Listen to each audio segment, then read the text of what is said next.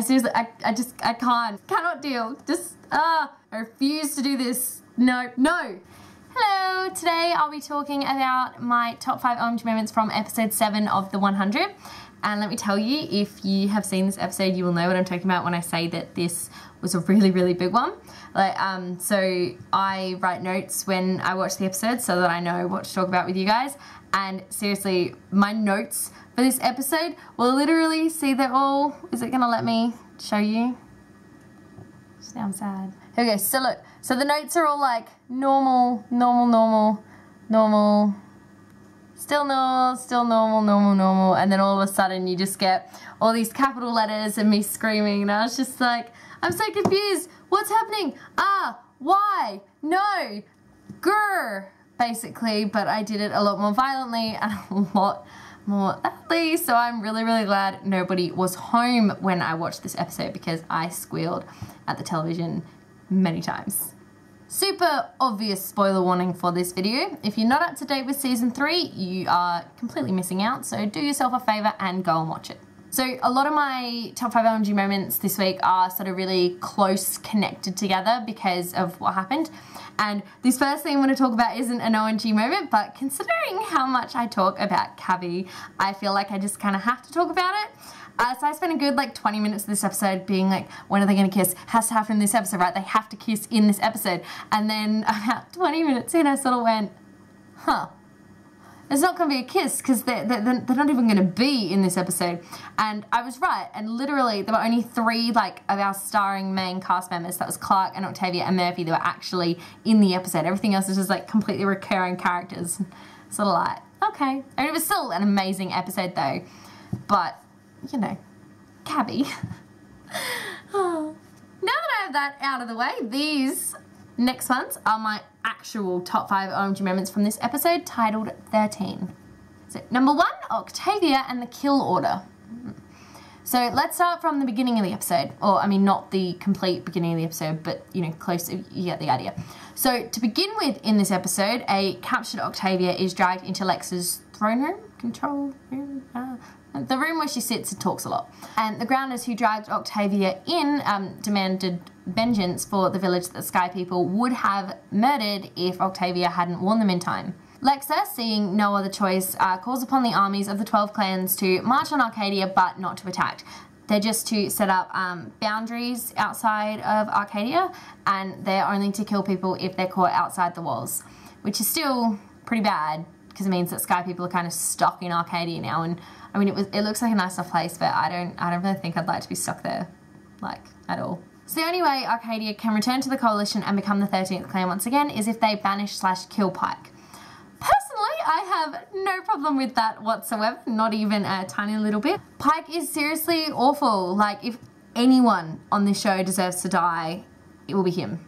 While all of this is going on, of course, Octavia finds Indra, tells her to stop wallowing in self-pity, and by the end of the episode, the two of them are headed to Arkadia to do a thing that I'm sure will be super awesome and badass once we find out what it is. I was doing pretty okay with predicting things, and then bam, everything just kind of blew up in my face. And yeah, you'll see why in a minute. Number two, Polaris flashbacks. So in this episode, we really got to dive into the Polaris flashbacks and we got to see the exact moment when ALIE got the launch codes and launched the nuclear missiles that ended the world. It was actually a really moving scene, like to see Becca and the commander and the other chick with glasses are sort of staring out the window and seeing like all these nuclear bombs, like boom, boom, you know, destroying the world. Um, so Becca sort of gave us a reason why ALIE did this. Apparently, ALIE launched the like launched the nuclear stuff uh, to find a solution to the problem of too many people on the planet. Uh, mm, yeah, well, we definitely have too many people on the planet, but I, I really don't think that nuclear war is the answer.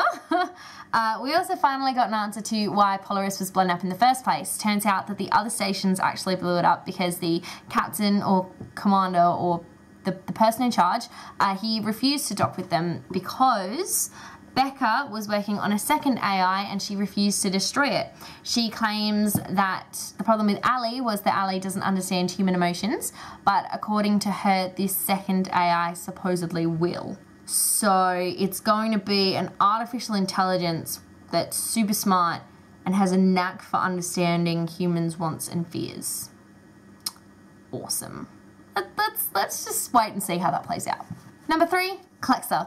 Yay!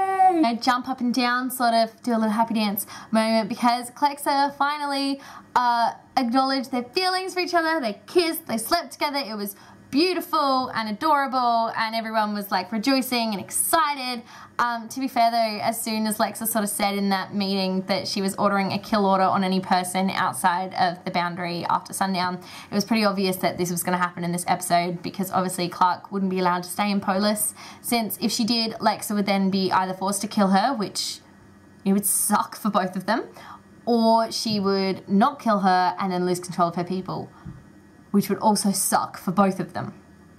So, of course, the only logical thing to do is to sleep together before they left and can never see each other again. Because that's, you know, clever. Uh, all I can say about this is that it was 100% um, perfect timing for it. You know, it worked uh, in the plot, it worked for character development. It's exactly what I predicted would happen. The guy thought the door was opening there. and especially, I predicted something way back, like towards the beginning of the season. I said to my friend, I was like, as soon as Clarke and Lexa sleep together, this thing's gonna happen. And I was right. Despite all that, I still was really glad to see them sleep together because, you know, I wanted to see them happy. And that lasted so long. And that brings us to number four, Lexa. So, poor Lexa, of course, met her untimely demise in this episode. Seriously though, I mean, like I said, I pretty much predicted it um, since I always, you know, I said, that's what I said to my friend. I said, I'm like, if Clarke and Lexa sleep together, Lexa's gonna die like almost immediately after. But we both thought it was gonna be like the next episode, not the next scene. Let's just, well, all right, let's backtrack a little bit here. So Clarke tells Lexa to, well, no, Clarke doesn't tell Lex or anything. In fact, that doesn't even happen. Clarke leaves Lexa and returns to her own room only to find Murphy tied up inside. A little bit, you know, creepy and really gross. Um, Titus, of course, our beautiful, mysterious man in the monk robes, uh, he reveals himself to be holding a gun, which is something I'm pretty sure in their like mythology or law or religion or whatever, it says that if a sky person ever picked up a gun, no, not a sky person, if a Trikru person ever picked up a gun, then they would all die because it's something about something or other. I don't know, it was a weird law, but in any way, Titus apparently isn't listening to it because he has this gun and he is going to kill Clarke, probably because Lexa listens to her too much. Something I have been saying this entire season, and if people listen to me, we could have avoided this whole thing. Uh, Titus, of course, is just like, you know, shoot, shoot, bam, bam, and he doesn't really know how to aim a gun. So unfortunately, Clarke, well, I mean, it's not unfortunately for Clarke, she manages to dodge the bullet, but unfortunately, it hits Lexa in the stomach and she, you know, dies. It was probably one of the saddest, like one of the sadder death scenes that I've seen on TV um, for quite a while. Um, it's not the saddest death scene that I've ever seen. Red Wedding, anybody? Uh, but it's definitely one of the sadder ones, you know, so Clarke cried, Lexa cried, I cried. It, you know, it truly was a very horrible scene. And it was made a million times worse um, when Titus just kind of like flips her over and like cuts into her neck, which brings me to my fifth and final top five OMG moment for the episode. ALIE 2.0. Yeah, so you remember the second AI that Becca made, the one that she apparently escaped with? Uh, she was apparently her on the escape pod from Polaris that we see in Polis, funnily enough. Um, turns out that Becca landed safely in Polis, uh, wearing a spacesuit with the word commander on it. So I wonder where the grounders got that idea. And she had the AI in the back of her neck. Like literally, she'd cut into her neck and put the AI inside. And as we saw when Titus took it out of Lex's neck, it had like mushed itself onto something. It turns out that when the grounders say the spirit of the commander, they're actually talking about this AI, which I think only a few people know. So I think the obviously Titus knows because he's the flame keeper, so he's the keeper of this AI when it's not inside commander. And obviously the commander knows because they have to be willing to cut open their neck and let the AI inside. It's really gross, actually. I don't, I don't it's, it's really gross. So Titus is, like I said, he's the one in charge of making sure that the AI passes from one commander to another. So if we are to believe what Becca said about the AI being super smart and able to understand human emotions, obviously this is going to have a super huge impact um, on the show and where we go from now because obviously this AI is going to move into someone different. And we just are going to have to wait and see if they're going to be as awesome and as willing to listen um, as Lexa is. But, you know, tell me this. So, if it's able to understand human emotions and it's like the grounders, then where did this grounded custom of blood must have blood come from? How does that help humanity? After such a whirlwind of an episode, I have a lot of questions, but as always, I've managed to narrow it down to just four. Question number one Do I actually need to say it? If you've been watching this, you will know exactly what my first question is. Question number two Are Clarke and Murphy going to be killed since they won't be in Arkadia after the kill order is in place? In fact, they're still going to be in Polis because Titus kind of locked them in. Question number three Who's going to be the new commander? So I had a thought um, not too long ago, actually, before Lexa even died.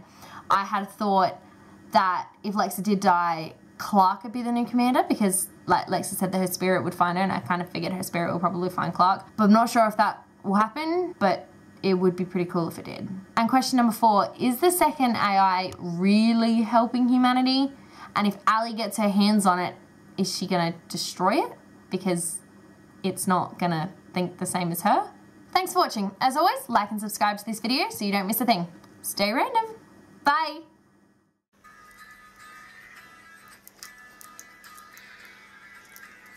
Okay. Oh my god, please put this in. Oops. No.